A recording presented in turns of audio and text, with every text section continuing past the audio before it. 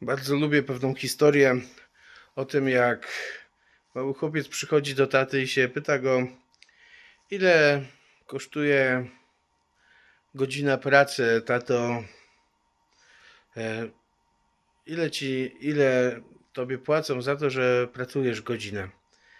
Tata powiedział synkowi, że co ty, co ty się w ogóle mnie pytasz, co mi zajmujesz, bo ja mam, przecież mam pracę, mam różne obowiązki, czemu ty się o to pytasz? No tato powiedz. Tata odpowiedział, że 200 zł. Chłopiec posmutniał i, i zapytał się, tato, a czy dałbyś mi, pożyczyłbyś mi 100 zł? I tata się wtedy zdenerwował mówi, po to się mnie pytasz, ile zarabiam na godzinę, żeby teraz ode mnie wziąć pieniądze, pożyczyć, iść do swojego pokoju i przemyśleć swoje postępowanie. Chłopiec poszedł, zaczął płakać.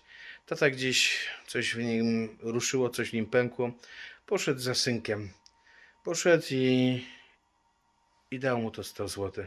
Chłopiec się uśmiechnął i patrzy, co robi tata. Tata co, patrzy, co robi synek, a synek wyciąga szkatułkę i tam widzi, że już ma uzbierane pieniądze. I tata już się zdążył zdenerwować, że ma tyle pieniędzy, a jeszcze go prosi.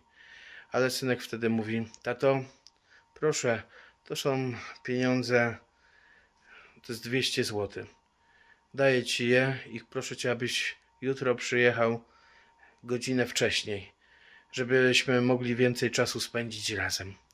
I Pan Bóg chce z nami spędzać czas. Tylko my właśnie często przez pracę, przez obowiązki, przez to, że mamy czas na wszystkie inne rzeczy, bo jesteśmy młodzi, potrzebujemy się bawić, bo jesteśmy dorośli, potrzebujemy zarabiać pieniądze, my znajdziemy sobie wymówkę, byle co, byle nie spotkać się z Bogiem, byle nie znaleźć dla Niego czasu.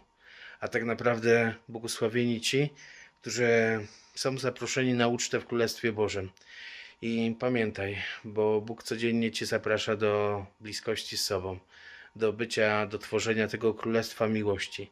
I może tej miłości gdzieś wokół nie ma Ciebie, dlatego, że po prostu nie znajdujesz czasu na to, by przyłączyć się do tego królestwa.